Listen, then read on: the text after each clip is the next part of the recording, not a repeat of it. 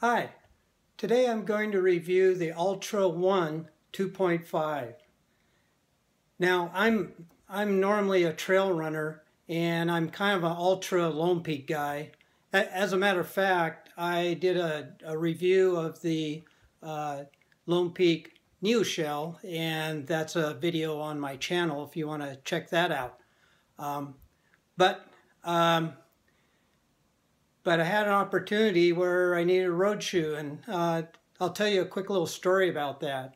So, um, a friend of mine uh, this summer recreated uh, the women's Olympic trial race in Olympia. It's called the Trials Legathon Marathon.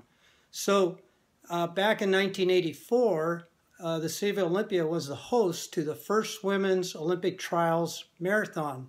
And back then. Uh, we all watched it. Uh, we ran the course. Uh, uh we've run the course before, and Joan Benoit ended up winning the trials, and of course went on to win the Olympic marathon after that.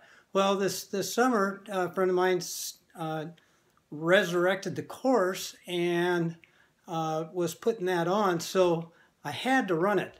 So that meant I needed some uh, some road shoes. So I looked around and uh, uh, grabbed these uh, uh, uh, Altra ones. And I tell you, I was I was actually planning on spending 90 days running strictly on the roads to prepare for this. And I, I got to tell you, I can't be any happier than my decision. Uh, first, first of all, uh, size-wise, these fit uh, same size as my Lone Peak, so uh, that transition worked out really great. Of course, with all Lone Peaks, uh, these have the same wide toe box, the zero drop. the difference with these compared to what I was used to is these only weigh 6.3 ounces and they wear just like a slipper. A matter of fact, a friend of mine owns a couple pairs that he just wears around town all day.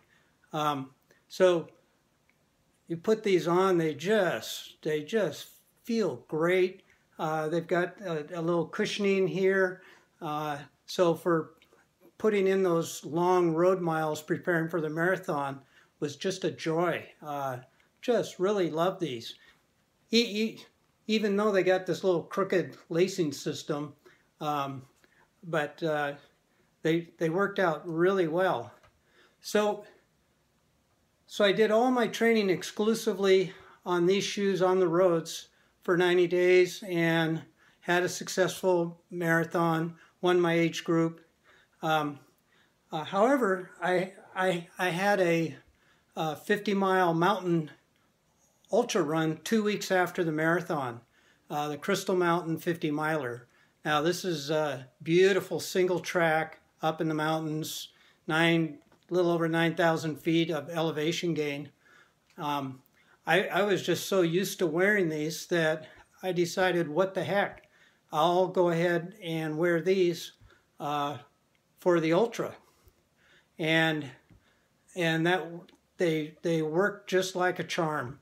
Um, the trails, uh, granted, the trails were were dry and good condition because the uh, this isn't really a trail tread. As a matter of fact, uh, even on, on the roads, you, you tend to pick up a rock or two uh, with with this design, but um, they they work fantastic uh, for my uh, for my 50 miler and uh, managed to get second in my age group on that one, wearing these slipper-like road shoes.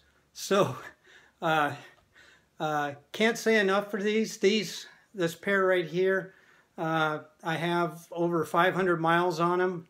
Uh, they're still uh, my go-to shoe uh, for trails, for the trails in town, and for my road running right now.